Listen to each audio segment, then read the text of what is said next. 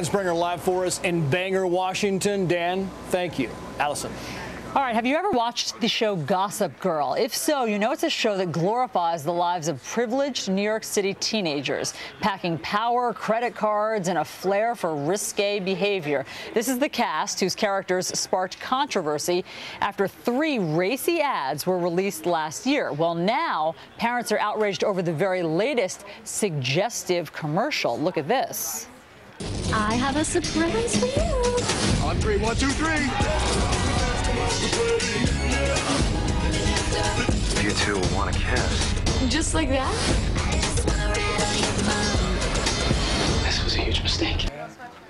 Well, the Parents Television Council is writing a letter to the CW network asking that they preempt the show's season finale next week. And it goes on to say Gossip Girl routinely depicts teenage characters engaging in promiscuous and consequence free sexual behavior, and that's bad enough. But will you now be complicit in establishing a precedent and expectation that teenagers should engage in behaviors associated primarily with adult films?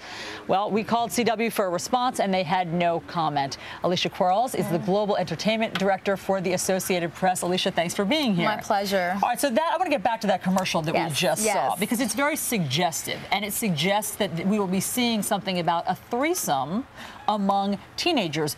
But what makes the Parents uh, Television Council think that the show will be more graphic? Because it's fairly abstract. Well, this is the problem. The Parents Television Council maybe should have seen the episode before they put out this warning. We don't know what the episode's going to be about. Maybe it's not going to be about a threesome. We'll have to wait and see.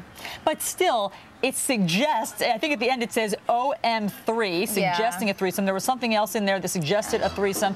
This isn't Showtime. This isn't HBO. This is Showtime. broadcast television. It Where is. is the line? Well, the line is Gossip Girl says that their average viewer is 27 years old. So they're saying these people are adult enough to understand this, to make their own decisions. And at the end of the day, it's about ratings. They love the fact that we're on here talking about this. They've done this before, as you said, with those racy billboards. Uh, they had a couple of episodes ago as Ed Westwick's character had a homosexual scene. So they're known for kind of being cutting edge. Yes, but let's get back to the point that you just made, which is in the past, when the Parents Television Council has brought this up, they've said, look, we're not really targeting teenagers. Come on, it's about high school students. Who do they think is watching this? Well, this is very true. I mean, it is about high school students, but they're saying their point is is that you have to monitor your own children. So maybe this is a warning to parents. They know this episode's coming up. It's going to be out there. If you don't want your child to watch, turn off the TV. Keep them far away that night. Um, so the PTC, the Parents Television Council, wants the network to preempt this coming episode. It's their finale. Right. Does a TV show ever do that and really bend to parents' um, pressure like that? Very rare, and it's because it's about the bottom line. There are ad revenues attached to this television show, so I highly doubt a station's going to say, you know what, morally, we're not going to air this because they'll lose out on a whole lot of ad revenue. All right, we'll see what happens next week. Alicia shall Quarles, see. thanks for coming in. My pleasure.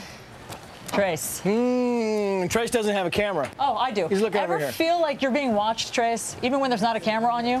That's probably because you are. Folks you've never met are checking you out online